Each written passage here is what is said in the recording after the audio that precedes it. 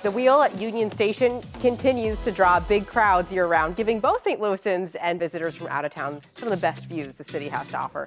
Tomorrow, though, the wheel will be offering a different crowd those views completely free, and Malik Wilson is joining us live to share. Do tell.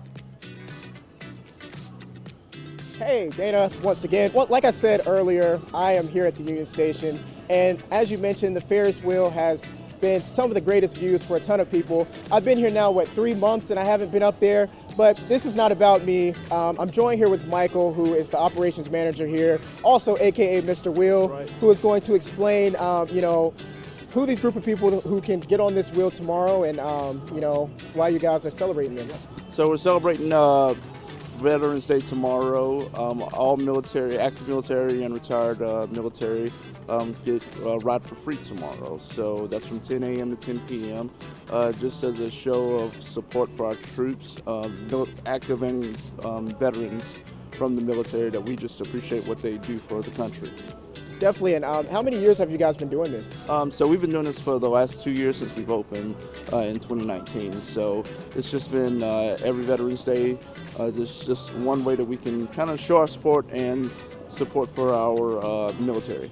Definitely. So veterans and active military, please come out here and support. Now, really quickly, Michael, can you explain some of the other things that are going here on here at the Union Station? Um, yes. So uh, throughout the holidays, so we do have.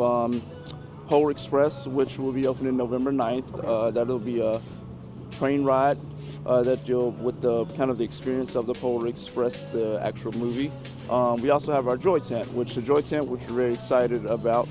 Uh, that's going to be, uh, that's going to consist of um, games, crafts for the kids. We also have uh, options to get photos with Santa, okay. uh, caricatures, uh, face painting. So we're gonna have a lot of fun in our Joy, uh, Joy the Experience tent. Definitely, so much going on here, like Michael said. Your information is gonna be right there on your screen so that you can check it out. Right there, you'll find the location to Union Station and a website so that you can learn more about what Union Station has going on.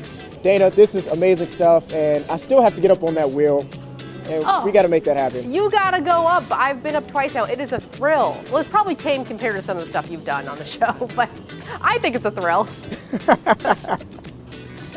we'll, we'll, get I'm you up scared to fight, so it'll definitely be a thrill. Thanks, Malik.